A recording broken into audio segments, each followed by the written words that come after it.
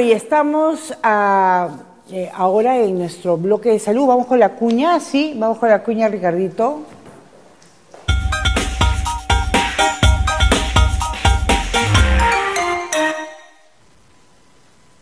Estamos, estamos al aire, como me dice Ricardo, con el doctor Félix Medina.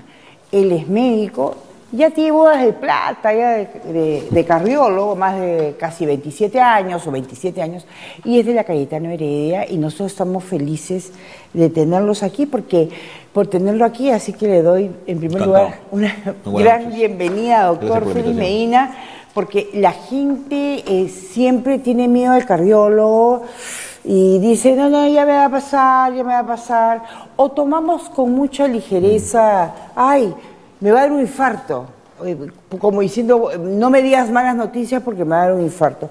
Entonces, eh, cuando se dice me va a dar un infarto y se asocia a un evento como dolor en el pecho, eh, ¿es así que se produce un infarto? ¿Empieza con el dolor en el pecho siempre? Lo, lo clásico ciertamente es que haya dolor de pecho, pero hay que ser muy claros en que eso es como la punta del iceberg. En realidad la gran mayoría de personas tienen infartos, muchas veces silenciosos, o muchas veces hacen muerte súbita, o sea, súbitamente mueren y nunca supieron que tuvieron un infarto. Eso es lo más, lo más lamentable. Y lo segundo importante es de que esta situación es completamente prevenible, o sea, si uno identifica los factores de riesgo va a poder prevenir infartos. Ya, ¿quién es el candidato? ¿Quién es el que se lleva todos los boletos para tener un infarto? Eso se llama factores de riesgo. A mayor cantidad de factores de riesgo, más boletos ganados. Así es. Y los factores de riesgo es como los dedos de la mano. A ver, yo le digo uno que ya no hago, fumar. Absolutamente, es uno de los principales factores. Obesidad es el siguiente. Ya no, doctor, ya no, ya no estoy gordita. Y que ¿qué incluye no solamente obesidad, sino sobrepeso. Tener unos kilitos más también es eso. Diabetes, hipertensión arterial, ¿de acuerdo? Y colesterol, en todas sus gamas. Porque cuando uno habla de colesterol, piensa que solamente es el colesterol lo que uno mide, pero en realidad también tiene que ver con triglicéridos, colesterol malo, colesterol bueno, etcétera. Todos son variantes, pero en general colesterol. Entonces, si uno tiene los cinco factores, evidentemente tiene todos los boletos ganados. Pero basta que tenga uno de ellos, tiene suficiente peso como para que eso pueda provo- provocar un infarto. Entonces, diabetes, fumar, eh, presión alta, Colesterol, colesterol, colesterol, diabetes, hipertensión, obesidad y tabaco. y tabaco. Ahora, hay una cantidad enorme de otros factores más que van apareciendo. Pero, ¿qué es un infarto? En términos, infarto en- términos sencillos. Imaginemos que el corazón se nutre, o sea, le llega sangre por tuberías. Esas tuberías se llaman arterias. Si esas tuberías se tapan, no llega sangre. Y si no llega sangre a ese corazón, se muere, como cualquier tejido. Entonces, un infarto es la muerte de un pedazo de tejido, de un pedazo del corazón. Porque, porque los conductos se tapan. O sea, hay un atoro ahí. Las arterias se van tapando, se van obstruyendo progresivamente en la medida que no nos portemos mal o bien. Si nos portamos bien, las arterias se mantienen limpias o más o menos estables. Pero cuando nos portamos mal con factores de riesgo, las arterias se van tapando por dentro progresivamente. Entonces, ¿cuándo se tapan? O sea, digamos, eh, sé que cuando me porto mal, ¿eso qué significa? Cuando tomo alcohol, Cuando hay exceso de alcohol, lo que pasa es que el alcohol es un tema bien interesante, porque el alcohol, los extremos alcohólicos o los, alcohol, los alcoholes pesados, evidentemente tienen más riesgo. ¿cuáles Los son que- los alcoholes pesados? Digamos que los alcohólicos en general se definen como una persona que toma exceso de licor, no de manera social, sino de una manera compulsiva, que está tomando mucho licor. O que cuando empieza ya no puede terminar. Exactamente, digamos que un, alcohol, un exceso de alcohol. Lo que pasa es que la cantidad de alcohol también ya se, se- se tiene más o menos calculada. Y hoy por hoy se reconoce que si uno tomara pues dos vasos de cerveza diarias, no significa que es un alcohólico, porque es Ya. una cantidad, si bien no permisible, pero por lo menos no es alarmante. Dos copas de vino diarias. Dos copas de vino tampoco es alarmante. O una- un trago de whisky o máximo dos tragos de whisky tampoco es alarmante. No es que hay que mantener un mensaje muy claro, no es que uno le permita tomar esa cantidad de licor, pero por lo menos no se ha demostrado que más de esa menos de esa cantidad provoque mayor problema. El, el fumar sí es terrible. Ahí no hay medias tintas y no hay cómo transar. El que fuma, así sea uno, dos o más cigarros, es un fumador por lo tanto y es un factor de riesgo. Ahora, si yo he dejado hace 11 años de fumar, he reducido mi factor Definitivamente sí, o sea, el, el, hecho que es quitar el cigarro, lamentablemente eso tiene que tomar un tiempo. No es que yo quite hoy día el cigarro y ya mañana no me da un infarto. Ese riesgo se crea por Yo dejé de un día para otro. Eso es la mejor conducta. El 28 de enero del 2008 dejé de fumar. Eso puede ahora, va poco a poco, poco a poco, va bajando la posibilidad. Se ha calculado eso y más o menos significa entre dos años, para por arriba de los dos años de haber dejado de fumar en forma absoluta, el riesgo comienza a bajar. Ay, qué bueno. Pero si uno mantiene esa conducta un poco pues. inestable, lamentablemente el, el, riesgo sigue. ¿no? Ahora, ¿los niños pueden tener infartos? Eh, no me digas. Ahora se está viendo mucho un problema Usted sabe muy bien que en la obesidad, a pesar de que se hablan muchas otras cosas de la niñez, pero la obesidad y el sobrepeso en, los niños es casi 30% en nuestro país. Nuestro país es el tercer país latinoamericano con obesidad infantil más alta. Vamos a hablar de la obesidad infantil, ¿no? En los próximos días, ¿no? Sí, sí, sí. La obesidad y, y, el, y el crecimiento de obesidad infantil en nuestro país es la más alta que todos los países latinoamericanos. Entonces es un problema que se está creciendo y los niños obesos igualmente comienzan a ensuciar sus arterias precozmente. Ahora, no quiere decir que le vayan... Es bien inusual, para ser sinceros, que haya un infarto en un niño. Pero, sí en un adolescente. Sí. Eh, no, porque si estamos eh, pasando que el niño empieza a comer cosas grasas, grasas, grasas, grasas, todo es comida con aceite trans. Mm. Eh, Lo que pasa es que en gente joven hay un, son gente que tiene tres factores interesantes que son los clásicos. Ya. Número uno, el tabaco Estoy hablando de gente joven por debajo de los 20 años, digamos. Ya. El tabaco es uno de los factores que más les afecta a esta gente joven, por eso se infartan. Es decir, cuando uno ve a un muchacho en 20 que se ha infartado, que es posible, uno le pregunta clásicamente, ¿fumas? Clásico, número uno. Dos, que tenga colesterol alto por familia, porque muchas veces heredamos ese problema. Nuestros padres tuvieron colesterol y tenemos colesterol. ¿Cuánto es lo normal de colesterol, doctor? Para un adulto, menos de 200 del colesterol total. Menos de 200 Ideal. Ya. y el colesterol malo, que es el más fastidioso, el que ensucia más arterias, deberíamos tenerlo menos de 100, que se llama LDL, pues son las siglas que se usan como... O sea, la persona que tiene 600 de colesterol malo... 600 de colesterol es un problema genético habitualmente, eso no es normal, eso no es por comida, eso generalmente es porque por familia le han ido heredando. Y el tercer factor en gente jovencita es drogas, cocaína, marihuana y muchas otras drogas más porque eso provoca a las arterias que se cierren y provocan infartos. Entonces uno pregunta clásicamente en gente joven, incluyendo hasta los 30 eventualmente, uno dice si fuma drogas o colesterol. Son los tres factores más importantes para ellos. Eh, usted habló de la presión alta y de la hipertensión. En caso de las personas hipertensas, ¿Qué riesgos corren para sufrir un infarto? ¿Qué debe hacer un hipertenso? Por ejemplo, un hipertenso que es obeso. ¿Cómo hace él eh, para tomar conciencia de que le puede venir un infarto y qué debe hacer? De los cinco factores que hemos mencionado, hipertensión por lejos es el más frecuente. Ya. Pero cuidado que en latinos, nosotros, se ha demostrado que la obesidad abdominal es mucho más impactante, es la que más nos pega para los infartos. Pero volviendo al tema de la hipertensión, que es por lejos la más frecuente, Hoy se reconoce que en nuestro país hay más o menos un 30% de hipertensos. O sea, de cada tres adultos, uno es hipertenso. Que lo sepa o no lo sepa es un tema aparte, pero de que es hipertenso, lo más probable es que lo sea. La hipertensión es como saber el DNI de uno o la fecha de nacimiento. Uno debe saber cuánto tiene de presión arterial. Todos los días. Todos debemos saber cuánto tenemos de presión Ahora, yo tengo 11.6 siempre. Es una presión formidable, ¿no? La idea, el número y mágico de presión arterial es un 12.8, digamos, un 120.80, o por debajo de ese número. 11.6 todos los días, doctor. Por eso que me puedo amargar, por eso que puedo hacer, porque no me pasa nada hasta ahora. es cierto. la, hipertensión, lamentablemente, es enfermedad silenciosa no es una enfermedad que da molestias, es típicamente una enfermedad silenciosa, por eso le llaman el asesino silencioso, porque es la enfermedad donde está por dentro, uno no se da cuenta, nunca se midió la presión, nunca le da molestias y, le da el efecto. Abrimos nuestras, eh, eh, nuestras líneas al 9259-49990 y 978-358-743. Eh, ¿Los nuevos estilos de vida pueden provocar un infarto? ¿Y, qué estilos de vida usted está viendo que, que proponen una mayor posibilidad de tener un infarto. como hemos mencionado, estos mismos que desencadenan estos factores, a eso se va con los estilos de vida. Los estilos de vida, lo que se llama cambio de estilo de vida. Los estilos de vida que los más saludables posibles son, número uno, bajar la sal en las comidas. Número dos, hacer un ejercicio diario que corresponde a unos 30 minutos de ejercicio aeróbico, o sea, moverse, por lo menos ya le digo 30 minutos diarios, Ya. y mantener un peso lo más ideal posible. Si uno Correcto. tiene esas tres conductas como estilo de vida, ya está ganando bastante. ya. Si uno se aparte de esos tres métodos de estilo de vida, tiene riesgo. Eh, ¿cómo, ¿Cómo podemos nosotros prevenir eh, o, o definir si es que a una persona le está empezando el infarto? Las molestias clásicas siempre es el dolor de pecho, sobre todo el dolor de pecho que viene con el ejercicio. Si alguien comienza a notar que tiene unas hincaditas, una opresión cada vez que hace un tipo de actividad un poco más de lo usual, eso es sospechoso en gente sospechosa, por arriba de los 40 años, por arriba de los 50 años, hombre o mujer posmenopáusica.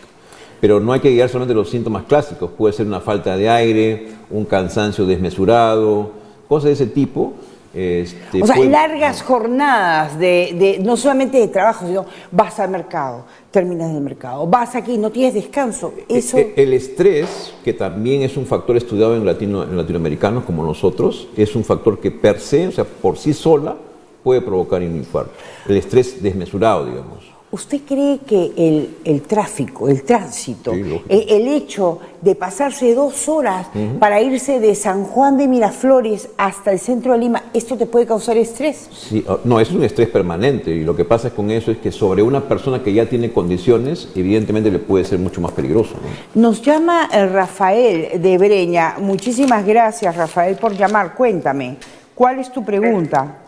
Eh, ya, esto, dígame, eh, yo tengo un problema, eh, sufro de diabetes, eh, la- en la cual al día de ayer he sufrido eh, una, se me, ha, se me ha vaciado la parte del ojo derecho, está ensangrentado todo.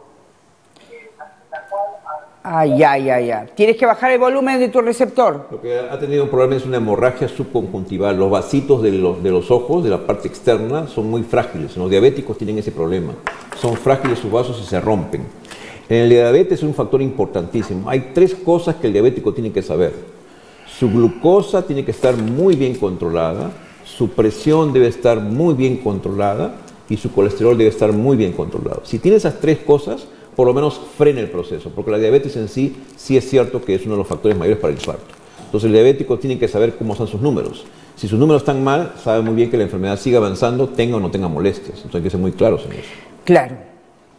Por lo, por lo tanto, el diabético tiene que estar siempre preguntando a su médico cómo está mi glucosa, cómo está mi colesterol, cómo está mi presión. Yo todos los días, doctor, con mi glucómetro, en el desayuno, tic, ¿De acuerdo? Eso, es una, es una- eso se llama la glucosa en ayunas. en ayunas. Sabiendo ese valor que está en menos de 120, idealmente, uno está protegido, si se quiere. La enfermedad está ahí, pero hay que estoy, estoy ahí. He bajado de peso, Es pero es que norma. esa es una norma y eh, me siento muy bien. Ahora lo que falta es hacer el ejercicio. Bueno, estoy activa, sí. pero hay que hacer ejercicio eh, físico. ¿Qué signos, qué signos nos alertan eh, que alguien está sufriendo en ese momento un infarto?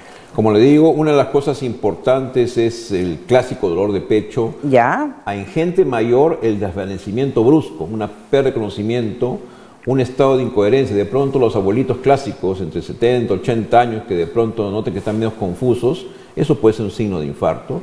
Hay dolores abdominales en las personas mayores, que inclusive en los diabéticos, Y que puede significar un infarto Y también. el famoso, ese hormigueo en el brazo El dolor izquierdo. de brazo, esos se llaman pues signos que están como. El, do- el clásico infarto es en el dolor en el pecho mismo, pero este dolor puede irse hacia la mandíbula, puede irse hacia el hombro, puede irse a los dos brazos inclusive, puede irse hasta los brazos, hasta las manos. Entonces son signos típicos que solo aparecen bruscamente. Ahora, el- los jóvenes eh, que han tenido una vida, eh, tienen una vida ahora que, que fue diferente al momento en que el doctor y yo fuimos jóvenes.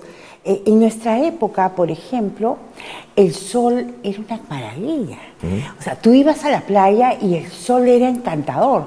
Hoy, eh, no sé si les pasa a ustedes, el sol es un enemigo, es, eh, te, te quieres esconder, tienes que protegerte del sol porque el sol daña. Entonces, eh, los muchachos ahora, yo veo algunos, son como, como bodegas grandes donde van eh, y en tres minutos tienes un hot dog, eh, hay un, un- un, este, estos envueltos, comida rápida que no, eh, que no es como nosotros, que teníamos nuestra lonchera. Entonces, Esto también influye por, por, el colesterol. Definitivamente los hábitos alimenticios son importantes, ¿no? La comida hoy por hoy no es muy sana, si se quiere, es mucha, tiene mucha uh, propaganda, si se quiere, muy, muy diversa, pero lamentablemente no siempre tiene unos buenos contenidos. Pues los alimentos más saludables a veces no son los más agradables, pero son los más saludables. Estamos hablando de verduras, frutas. Ay, pero es rico, las verduras, las frutas son ricas. Es lo que hay que difundir para que todo el mundo consuma Así es. Ahora, eh, ¿qué hacer si vemos a alguien con síntomas de infarto? De inmediato tiene que ser trasladado a una unidad de emergencia porque... ¿Lo movemos? ¿No lo movemos? No, lo que pasa es que el infarto le da poco tiempo. Un infarto significa, como decíamos, una obstrucción de la arteria. El tejido está sufriendo mala irrigación, no le está llegando sangre y si no abrimos esa arteria, el tejido va a morir. Entonces, una de las cosas que uno puede hacer de inmediato, si tuviera la mano, es dar una aspirina, por ejemplo, en ese momento, y eso puede significar por lo menos ganar un poco de minutos y trasladarlo de inmediato. Lamentablemente que es un poco triste en esto de que mucha de la gente que tiene un infarto, el 50% de las personas que tienen un infarto inminente, solamente el 50% llegan a una emergencia. Porque el otro 50% fallece en el, en el camino. ¿Por qué fallecen? por arritmias. El corazón comienza a tener una arritmia desordenada y el, paciente muere. Y bueno, acá eh, nuestros televidentes son los reyes y las reinas y nos llaman desde Tarapoto. Eh, gracias Nanda, querida, por eh, comunicarte con nosotros. ¿Cuál es tu pregunta, Nanda? Mi pregunta es el causante. ¿Cuál es el causal de la hipertensión? Ah. Porque yo soy una paciente con arritmia cardíaca. Tiene arritmia cardíaca, ¿cuál es la causal de hipertensión? Yo hago presión ocular en una vista. Ese es el motivo es cuando la arritmia o la hipertensión es alto. Eso es mi pregunta. Desde Tarapoto, San Martín. Muchísimas gracias, querida Nanda, desde Tarapoto. Doctor. Sí, ha, mencionado varias cosas. ¿no? La presión en el ojo se llama glaucoma. Esa presión alta en el ojo no tiene nada que ver con la presión arterial que estamos discutiendo. Son dos cosas diferentes. Ya. A veces las personas confunden un poco. La presión en los ojos se trata de cierta manera, inclusive esta cirugía. La presión arterial que estamos hablando es una hipertensión que lamentablemente no sabemos la causa. Sabemos cómo tratarla, sabemos frenarla, sabemos controlarla, pero no podemos curarla. Es la típica historia de las familias. Son familias de hipertensos o de factores, obesidad, diabetes, y eso origina esa hipertensión. O sea, la, hipertensión puede bajar si tú bajas de peso. Oh, sin lugar a dudas, eso es un factor importante. Y es ah. una enfermedad que, como decíamos, es una enfermedad de las arterias. Las arterias se ponen duras, rígidas, y la sangre pasa con mucha fuerza, con mucha dificultad. Por eso es que se le sube la por presión. Eso que y suben los números. Eh, ahora, ¿puede un joven, me explica, me pide Rodolfo, ¿puede un joven con dolor en el pecho sufrir un infarto? Absolutamente. Como decíamos, en gente joven se está viendo mucho esto. En los hospitales vemos ahora gente que antes veíamos clásicamente los 50, antes decíamos el infarto de los 50, 60, eso es falso, ahora estamos viendo infartos de los 30, 40. Ahora, cuando, a ver, hay, hay una mito, ¿ya?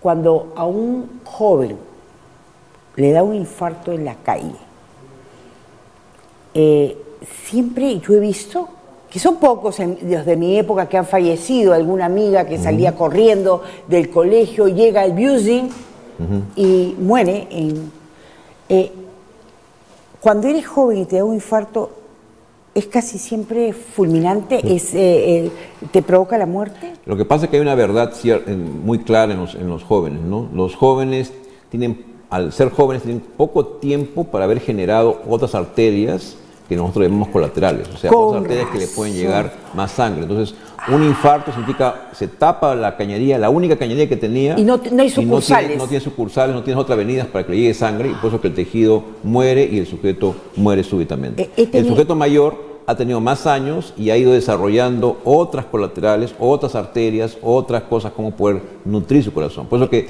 si bien el infarto ocurre, tiene una, por lo menos una opción de que las otras arterias le van a ayudar hasta que llegue. Al mayor, pero al joven no. Pero al joven no. Por eso que son fulminantes. He esperado 40 años Nunca había hecho esta pregunta, esta que usted me está respondiendo, y le agradezco muchísimo. Desde San Juan del Lurigancho me llama Alejandro. Alejandro, buenas noches. Buenas noches, ¿cómo señora Bien, ¿qué tal? Eh, desearía hacerles unas preguntas aquí al doctor. Dígame, por favor, está el doctor Félix Medina de la Clínica Internacional dispuesto a escucharlo. Bien, doctor, una pregunta. Eh, yo sufro de tensión, la tensión arterial y me está dando mareos. no puedo eh, sostenerme como debe ser, el equilibrio me falta. Quisiera saber, eh, ¿esto es muy grave o son síntomas que realmente tengo que preocupar? Por lo que entendí es hipertenso y está con mareos, ¿cierto? Eso es Sí. lo que- lo que he entendido. Hay que estar muy cautelosos de medir, así como usted mencionó que hay que tomarse la glucosa en el diabético, el hipertenso debe tener sus maquinitas para tomarse la presión arterial en casa. Tiene que aprender. Y es muy sencillo, no es nada complicado. Porque hay que tomarse la presión en las mañanas y en las noches, saber cómo está esa medición de la presión arterial. Los mareos pueden ser signos de que la presión está muy alta o muy baja, o cuidado que puede significar un problema a nivel cerebral que está llegando menos sangre. Por lo tanto, lo importante es que se mida la presión arterial regularmente en casa para saber si está bien controlado o no. Eh, correcto. Ahora, eh, ¿cuál es, ¿qué hacemos nosotros eh, para poder bajar los niveles eh, de colesterol? Eh, eh, ¿Qué tipo de aceite tenemos que.? O sea, discúlpeme usted, pero es que hay que tratar de darle eh, masticadito a, a los televidentes para que Sí, puedan. hasta, hasta acá hemos insistido mucho en nuestro estilo de vida, pero muchas de estas enfermedades dependen de medicamentos. Hay que ser muy ciertos también. Ya. En diabetes, medicamentos es una, una pieza fundamental. En hipertensión también existen medicamentos. Y en el caso de colesterol, uno tiene que definir si uno puede manejarlo con dieta, menos grasas, menos frituras, carnes blancas, muchas verduras, muchas frutas, perfecto, el colesterol puede bajar. Si no bajara con esas conductas de vida, es mejor tomar medicinas. ¿Cuánta gente ha sufrido un infarto en el Perú al año? ¿Cuántas personas? Tenemos cifras anecdóticas, sinceramente, pero por ahí hay publicaciones que estamos entre los 2.000 a 4.000 personas de infartos por año. Por, año. Por año. Es lo que no hay cifras exactas en nuestro país. Debería de haberlo, debería ¿no? haber, Es- debe- Estamos en ese involucrados en una especie de registro, pero la idea aquí es que sí es una cantidad no menor, es una cantidad muy importante. Ahora, lo de las aspirinas sí me interesa y creo que voy a ponerlas ya en, en mi cartera para que cualquier persona que se pueda, ¡pac! le tomamos, Hay, le hay damos que una ser cautos ahí. En el caso de infarto agudo, cuando ocurre la crisis misma, indudablemente es el mejor medicamento, el más barato y el de, de acción inmediata. Pero no se lleve como mensaje que a todos se queda la aspirina para prevenir. Eso no, No. se ha demostrado. Ha sido un problema hoy y la aspirina inclusive está dando muchos problemas de sangrado. Entonces, hay ciertas personas en que uno sí le indica aspirina como preventivo, pero no a todas indiscriminadamente. ¿Y, y es cierto que el colerón, un colerón provoca un infarto? El estrés o el súbito colerón que usted menciona puede desencadenar unas sustancias que se liberan, que son las catecolaminas, unas sustancias que hacen que el corazón se acelere. Y sí puede romper una arteria y sí puede ocurrir un infarto. Eso sí es cierto, es posible. Doctor, me ha encantado estar con usted, pero por favor, tiene, tenemos los teléfonos del doctor. La usted está en la, La clínica. clínica. internacional, ¿no? Bueno, si ustedes quieren alguna consulta con el doctor, eh, creo que eh, eh, Clínica Internacional es una opción que ustedes pueden tener y al doctor Félix Medina para atenderlos. Me acompaña un ratito para hacer el pensamiento eh, positivo del día. Perdón. Ah, pero antes vamos a mencionar el WhatsApp de los niños que lo- hoy día a partir de las 8 y 10 arranca. Si tú tienes eh, algún niño que está siendo eh, abusado, le pegan, lo hacen trabajar, está en una casa eh, sirviendo en condiciones infrahumanas, por favor, llámanos al 9259-49990. UCI Noticias y Viva TV se compra el pleito nos compramos el pleito con todos los aliados estratégicos de Asiri TV, Rumba TV, Activa TV, Canal 7, Cable Cañete, todo el Perú. Eh, nosotros nos compramos eh, eh, el, el- pleito y vamos a donde tengamos que ir. No me dejas tu teléfono y dónde están ocurriendo los hechos. ¿Correcto? Y si no te quieren aceptar una denuncia en una comisaría, a pesar de que tú estás viendo que hay un niño que está siendo maltratado, inmediatamente también nos llamas. Vamos al pensamiento positivo del día, mi querido.